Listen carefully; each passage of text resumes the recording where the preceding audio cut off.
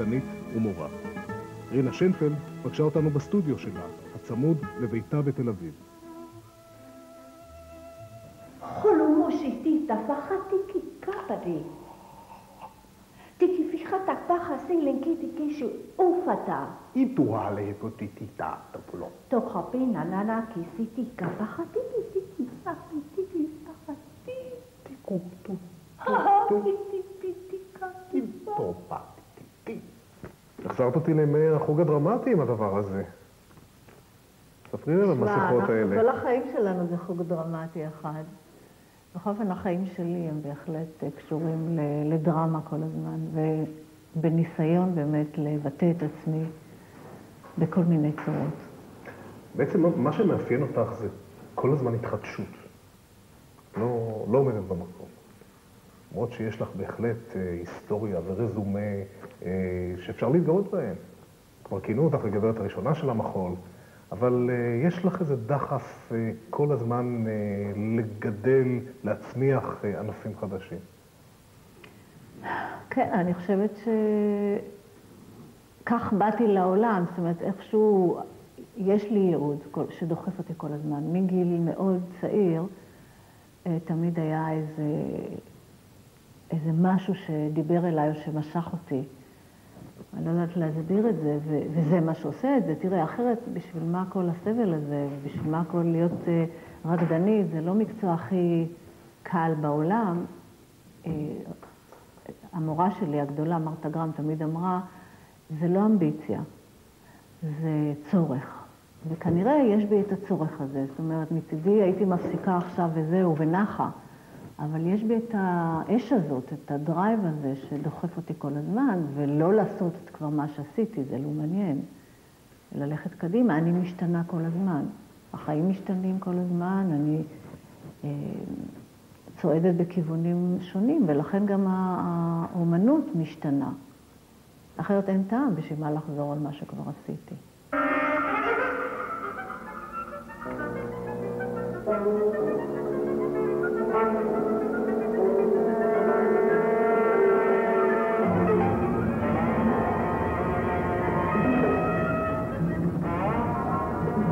לרקוד בגיל 12, שזה יחסית גיל מאוחר לרקדנית. היום רקדניות מתחילות, אה, תגידי את, שלוש. שלוש. כן.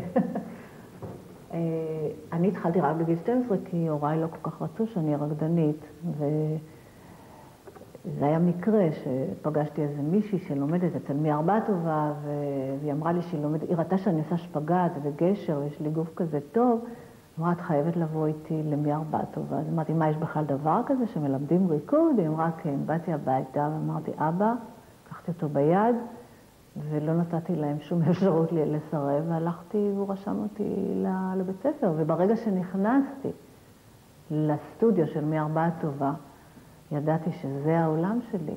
כבר אז, בגיל הזה, ידעת שזה מה שתעשי לאורך כל החיים?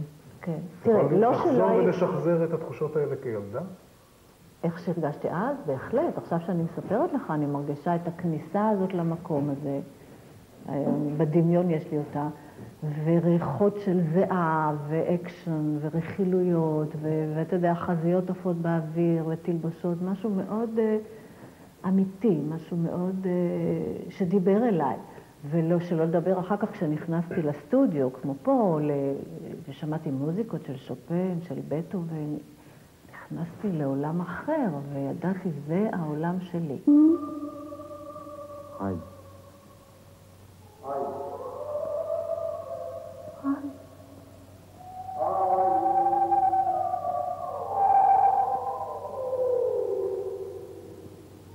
תראה, לא הייתי בטוחה שאני אעשה קריירה כזאת, ו- ו- או שאני אצליח, או שאני אגיע לאן שהגעתי, אבל אה, זה היה העולם שלי, ולא אגיד שלא היו לי משברים גם. התחלת כמובן עם בלט קלאסי, אבל המפגש שלך עם מרתה גרם והלהקה שלה הכניס אותך למחול המודרני. לגמרי, אני הייתי בשוק תרבותי כשראיתי מרתה הגיעה לארץ, והייתי בהלם, הייתי בהלם מה... מהגברים שרקדו אצלה. שהם לא היו סתם כאלה שהרימו נשים, מהנשים החזקות, שלא היו סתם איזה ברבורות חלשלושות, אה, אנמיות, אנורקטיות, אלא נשים עם, עם עוצמה ועם דיבור, ומה שמאוד דיבר אליי זה גם התפאורה של נגוצ'י. זה היה עולם אחר לגמרי, ואמרתי, את זה אני רוצה. באמת אה, עברתי למודרני. עד היום אני מאוד אוהבת אה, בלט קלאסי, ואני חושבת שזה הבסיס החשוב ביותר לרקדן, וגם לעצמי. אני היום לוקחת, אה, ראית קודם, בר כל יום. זאת השפה הנפלאה, והבסיס שממנו כמובן צריך ללכת קדימה, והלכנו קדימה, אבל עדיין אי אפשר להתעלם, לא, אני לא מעוניינת להתעלם מכל השפה הנפלאה הזאת הקלאסית. כלומר, היא בסיס מבחינתך. נכון. בסיס, ש... אבל לא מנטליות, לא להישאר עם המנטליות של הברבורה הלבנה שמתעלפת כל רגע וצריך להרים אותה, ו... וכל האגדות האלה, אלא ללכת קדימה עם, עם מה שיש לנו היום. רינה, לאורך השנים, כשמביטים על היצירה שלך, יש איזה תהליך של היטהרות ושל זיקוק. התחלת לעבוד עם חפצים, אחר כך אה, אור ותאורה, אחר כך מילים וג'יבריש ושירה שאת עצמך כתבת. אה, יש איזושהי תחושה שאת אה, מחפשת או מקלפת עוד שכבות, כמו מין בצל כזה, שמקלפים ממנו ומקלפים ממנו ומנסים אולי להגיע לאיזה ליבה. בהחלט. אני חושבת שהאומנות, בסך, הריקוד בסך הכל משרת אותי אה, כאדם. המטרה, המטרה שלי להיות אה, מאוד חופשייה, להגיע לחופש המקסימלי שלי כאדם, להשתחרר מהמון פחדים, מהמון אה, אמונות טפלות, מהמון דברים שנכנסו בי. ולהגיע לה, ולהזדקק ולהיטהר, להיות אה, אה, קרובה קרובה ל, לרוחניות, לאלוהים. זה נשמע נורא גדול, אבל זה... אני חושבת שהריקוד הוא בהחלט משהו, הוא, הוא האומנות הכי רוחנית שיש, הריקוד. הגוף והנפש, א', הם קרובים, דבר אחד שלם, ודרך הגוף אתה יכול להגיע להתנפיות רוחניות הכי גבוהות שיש. אני בכל אופן הגעתי.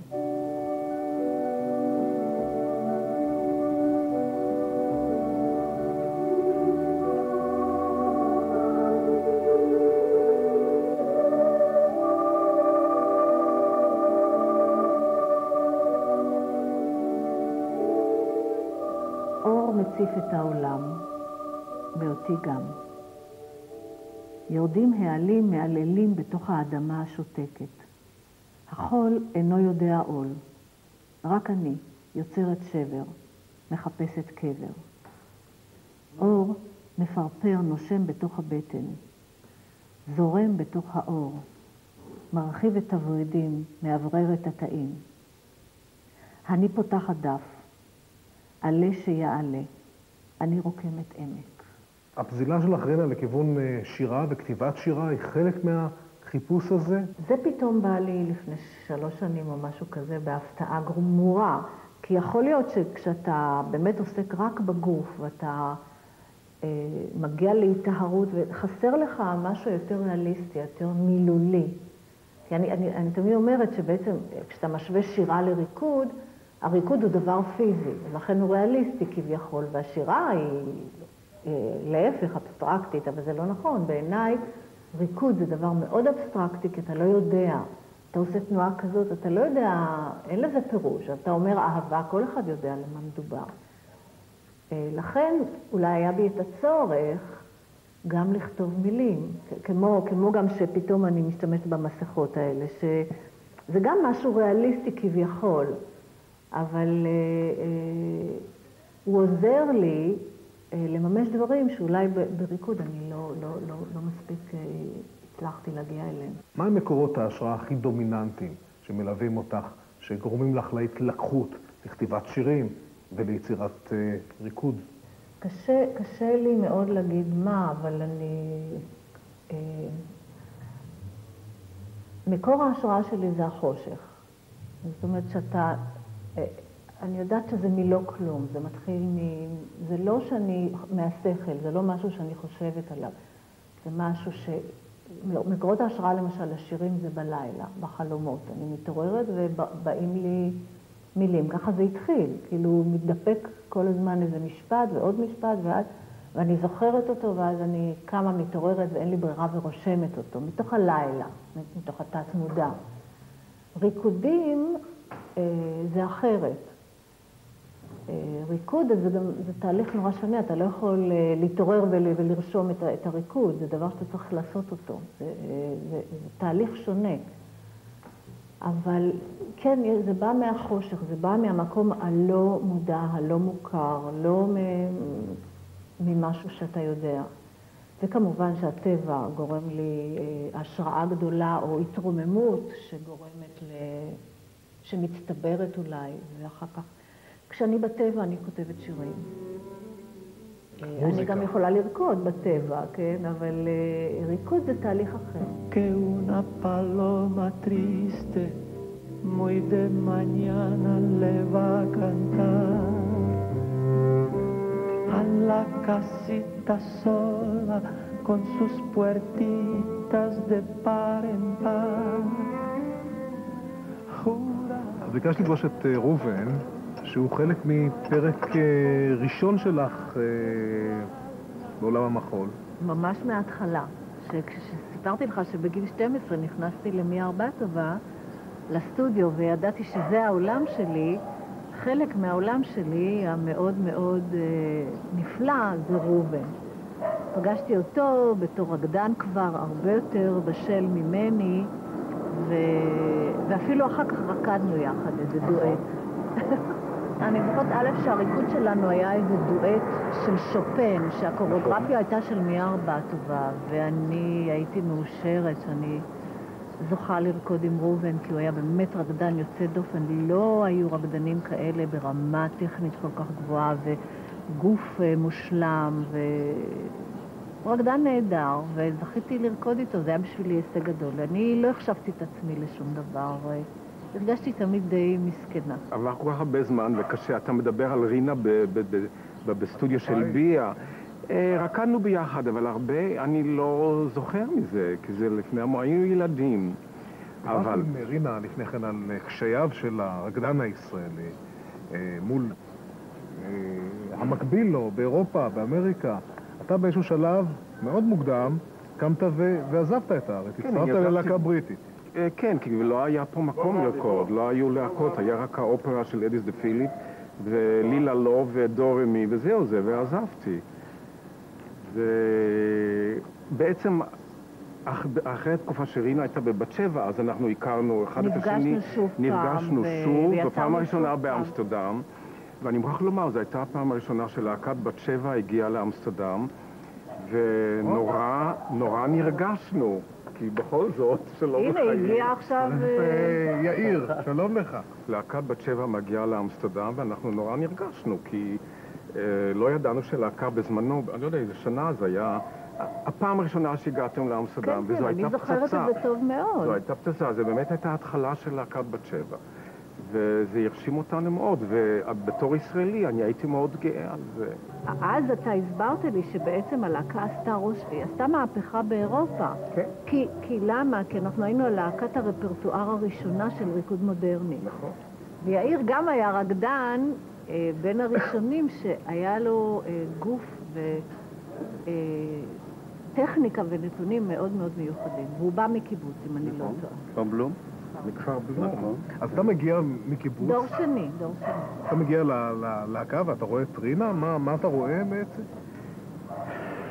ברור שאני ידעתי מי זו רינה לפני שהגעתי לכת בת שבע, ראיתי אותה בדפנה אז אפילו, לכת בת שבע, שזה גם הייתה סנסציה גדולה מאוד. והגעתי לסטודיו פעם ראשונה, אני זוכרת, רינה עושה חזרות על עבודה של מרתה גרם, הרודיאד, אני לא זוכרת בעצמה. צצתי בסטודיו, ובאמת נדהמתי, אני רואה את רינה, את רינה, אדם מול, מולי, באמת עם שם עצום קודם, בסטודיו עובדת, כמו, כמו כולנו, זו הפתעה גדולה בשביל קיבוצניק כזה צעיר שבא מאולפן למחול. למרכז העשייה של המחול המודרני אז בישראל. רינה, מולי, אחד לאחד, זו הייתה התרגשות נורא גדולה. זה היא לא יודעת כי אף פעם לא סיפרתי לה, למרות כל השנים שעברנו יחדיו. אבל אני יכולה להגיד שרינה, רינה ומשה, בצורה באמת אה, מאוד מיוחדת ומפתיעה, אימצו אותי אישית בצורה נורא חמה. דבר ראשון, הזמין אותי לבוא לרסטוד לעשות שיעורים, כמה שאני רוצה. ובאמת גם קפצתי למציאה הזאת, כי אז לא, לא היו הרבה אפשרויות לעבוד. ובלהקה עצמה, וגם אימצה אותי מיד כפרטנר אליה, אז כל העבודות המעניינות והחדשות שיצאו אחר כך בלהקה. כמו לתוך המבוך שראינו. ועברתי עם מרתה גרם ועם. שלך צילמנו אותך בזה. עכשיו. טרנזישן של מירה לשרון, או עבודות אה, אחרות של יוצרים ישראלים. בכלל הפתיחות אני מוכרח להגיד, הייתה מדהימה לחבר'ה צעירים כמונו, אני ואסתר נדלר לידי, שהיינו ככה שניים שהצטרפנו ללהקה. הדור הצעיר. מאוד חיבקו אותנו, מאוד אימצו אותנו, מאוד תמכו בנו, מאוד עזרו לנו. זה דבר שאופייני? זה דבר שאופייני או שבדרך כלל יש אה, תחרות ומתח? לא, זה לא אופייני. אני חושבת שאצלנו הייתה תחרות גדולה מאוד בבת שבע, כי מרתה עצמה הייתה אה, אישה שיצרה אה, תחרות בין האנשים. למשל, אנחנו רקדנו חמש בנות, תפקיד אחד. ורק שבועיים לפני הפרמיירה היא אמרה, את עושה את זה. מתח נוראי. נוראי. וזה היה... איזה מזל שבועיים, זה קורה עכשיו איזה יום לפני זה. היום שאתם מסתכלים על השנים האלה לאחור, אתם אה, מתרפקים על הנוסטלגיה? זו הייתה תקופה טובה מאוד בארץ, כי גם עוד לא היה שום דבר, זו הייתה התחלה. וכשיש התחלה ואין שום דבר, אז הכל נהדר. זו הייתה משאת נפשו של כל רקדן ורקדנית להיות חבר בלהקת שירה. זה היה הדבר, להגיע לשם זה היה, כלומר זה חותמת של האיכות, אדוני. לרקוד בלהקה הזאת עם שם בינלאומי, וכמו שאמר ראובן, אכן לא היו דברים אחרים, הייתה להקת בדור, שהתייחסו תמיד במין זלזול מסוים, כן, להקה הקלאסית כביכול. היו ניצנים ראשונים שהפעילו של הקמת הבלט הישראלי, אבל הייתה להקת בת שבע שעבדה עם כל הכוכבים, עם כל החורפים הגדולים ביותר. הדולרים זרמו מבת שבע בכמויות, וכל מי שהלהקה רצתה, היא הביאה לישראל. אז לעבוד עם כל האנשים האלה, אם זה מרתה, ג'רום רובין, בוב כהן, פלאנג, you name them, זה היה פשוט חגיגה, לא היה מקום אחר לעבוד איתו, ולצאת על האולם עם הרפרטואר הזה, אז אה, נפתחו.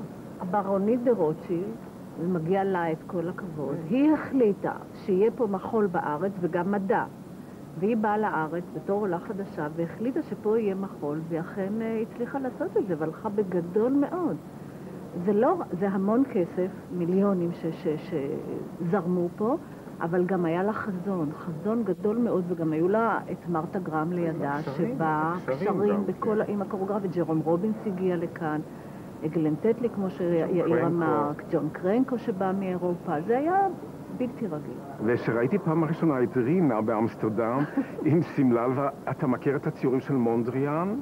עם המשקפיים שמש המרובעות, כן. היא נראתה בשבילי כמו תמונה של מונדריאן או של קופפרמן, משה קופפרמן, ואני נורא מעריך אמנות אבסטרקטית, ומיד אני ראיתי איזה ניקיון ברינה. אצל בצבע?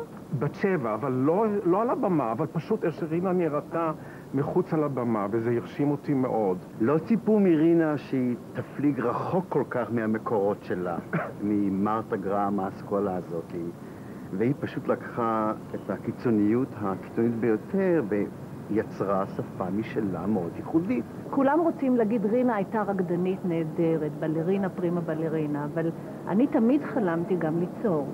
ותמיד חלמתי ללכת בדרכה של מרתה, להיות רקדנית וקוריאוגרפית.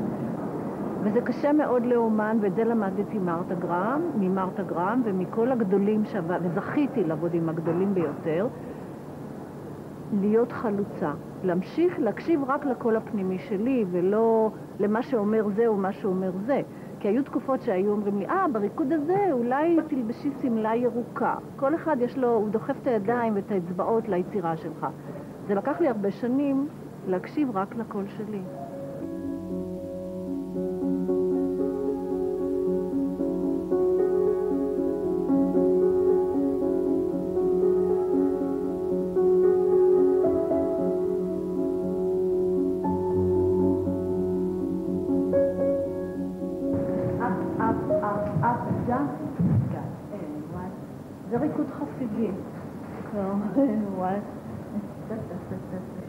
droite, de gauche, de gauche, de gauche,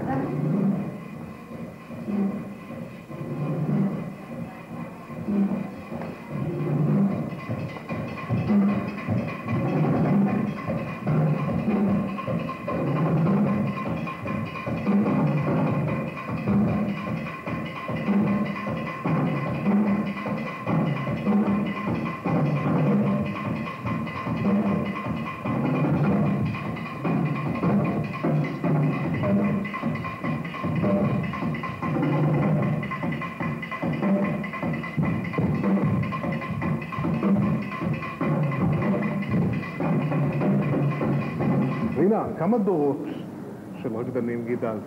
וואו, אני באמת לא יודעת, זו שאלה קשה, הרבה דורות.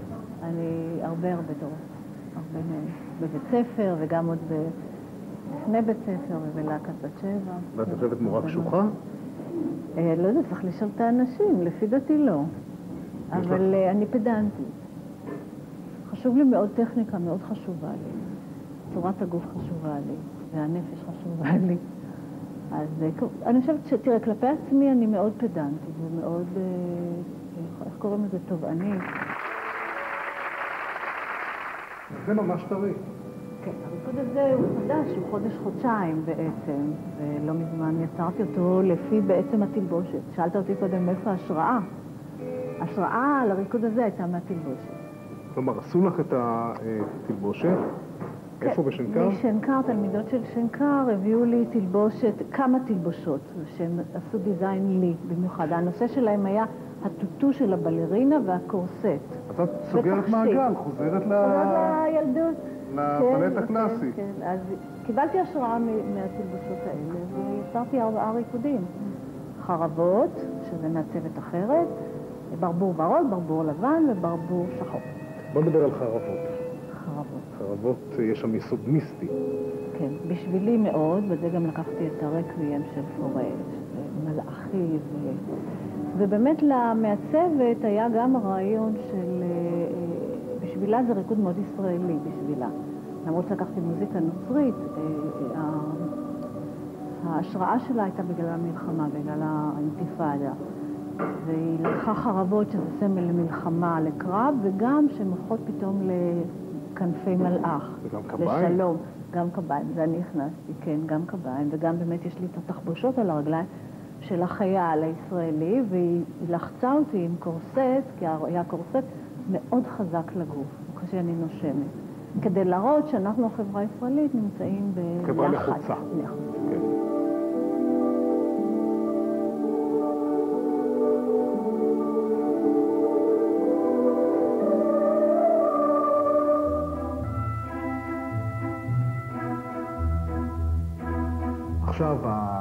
המוזיקה הכי דומיננטית בחיים שלך היא המוזיקה מתוך אה, סרטו של אה, אלמודובר, דבר אליה. נכון. אני כל יום קמה ועושה שיעור עם, ה, עם, ה, עם השיעורים האלה, עם המוזיקה הנפלאה הזאת, פשוט מחזיק אותי. החיים הם די קשים. תשמע, אין לנו חיים קלים פה בארץ. אה, די... היום-יום קשה, מפרך. אני חושבת שגם מצבו של האומן בארץ קשה. וסרט כזה מרים אותי גבוה, זה, זה רק מוכיח לי גם, גם זה נותן לי השראה להמשיך בדרך שהיא לא קלה. כי אז כשאתה רואה עד כמה יש לאומנות כוח, אתה מקבל כוח ואתה אומר, כן, בוא נמשיך. הסטיגמות אומרות שרקדנים אה, פורשים מוקדם, אה, שרקדנים, רקדניות לא מקימות משפחה, לא יולדות. את עשית את זה. אמרו, רקדנית היא נזירה. וכשבאתי לארצות הברית, מרתה נתנה לי מלגה לבוא אליה, ראיתי שכל הרקדניות שלה, הכוכבות הגדולות, יש להן שלושה ילדים, אני לא האמנתי את זה. ואמרתי, אני לא אוותר על החיים שלי. אני חושבת שאומן קודם כל צריך לחיות את החיים, הרי כל ה- הריקודים באים מה, מהחיים, זה לא סתם איזה... האומן חי, צובר חוויות, ואז הוא בונה ריקודים, כמו שציפור בונה איזה קן. אה, אני חושבת שהצלחתי למזג את החיים, לא רציתי לוותר על זה, אבל זה למדתי באמת מהדוגמאות הגדולות. תראה, עכשיו אני חוזרת מסיבוב פעות ביפן. בפסטיבל הזה, אני הייתי בין הצעירים, זאת אומרת, היו גם צעירים, אבל היה, היה שם רקדן, זה ה- מי שהמציא את הבוטו, קאוזו אונו. איש בן 96, יושב על כיסא ורוקד, ואני פשוט לא האמנתי למה שאני רואה, ואתה צריך לראות איזה כבוד הוא מקבל, איזה... זה היה ערב מרגש ביותר, למרות שהוא לא יכול כבר לרקוד, הוא ממש יושב ועושה שתי תנועות בידיים ובפנים קצת, והקהל משתגע, אבל רקדו סביבו כל התלמידים, והבן שלו בן 70 רוקד, יוצא מן הכלל. איך היית רוצה שיזכרו את רינה שיינפלד? האמת היא שאני לא חושבת על זה, או לא חשבתי על זה, אבל אה, אני לא בטוחה שזה תמיד, אה, שזה באמת חשוב לי איך יזכרו אותי. אני ממש לא... כי אני חושבת, למשל, יש לי המון חומר בספרייה, ויש המון חומר עליי, אם מישהו יהיה מעוניין לקחת ולטפל בזה ולהמשיך את זה כמסורת, כתרבות של עם ישראל, אז אני אשמח, זאת אומרת, זה, זה יהיה נחמד. אני לא יודעת. אני חושבת שאולי בתור רקדנית או בתור אדם. איי, איי, איי, איי, איי.